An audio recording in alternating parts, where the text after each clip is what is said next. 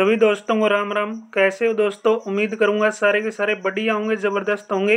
तो हरियाणा सिटी पे आज की ताज़ा अपडेट आई है। भाई देखो क्या कुछ अपडेट है।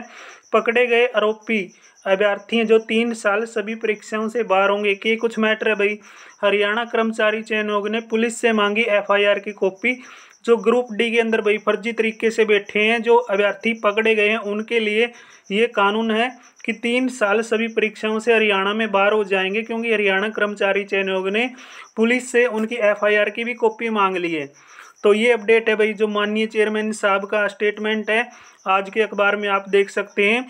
ग्रुप डी के लिए हुए सिटी में जिन अभ्यर्थियों पर एफआईआर हुई है, उन चौंतीस अभ्यर्थियों की संख्या बताई जा रही भाई। चौंतीस अभ्यर्थियों में एफआईआर की कॉपी हरियाणा कर्मचारी चयन आयोग ने हरियाणा पुलिस से मांगी है और हरियाणा कर्मचारी चयन आयोग अब इन आरोपियों पर कार्रवाई करेगा। ये तीन साल तक किसी भी परीक्षा में हरियाणा में हिस्सा नहीं ले पाएँगे भाई। तो अगले तीन साल तक आयोग की परीक्षा नहीं, ये क्या कर पाएँगे? नहीं दे पाएँगे। तो दूसरी ओर ग्रुप डी के लिए हुए सीटी की जो आंसर की है, उसकी जारी होने में भी दो या तीन दिन आपका समय लगेगा। यानी आंसर की आएगी जो आपकी आंसर की, उसमें भी समय आपका दो तीन दिन का लगेगा। तो वेट कीजिए। कोई और इससे संबंधित अपडेट आएगी तो आपको ज़रूर साझा करेंगे। आप हमारे साथ जुड़ सकते हैं, कोई भी आपका डाउट है तो नीचे कमेंट बॉक्स में बता दीजिए। भाई, आप हमारे पास व्हाट्सएप पे मैसेज कर सकते हैं। डेली आपके साथ कम्युनिटी में बेहतरीन अपडेट शेयर करते हैं।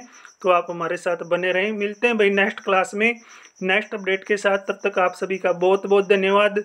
जय हिंद, जय भारत।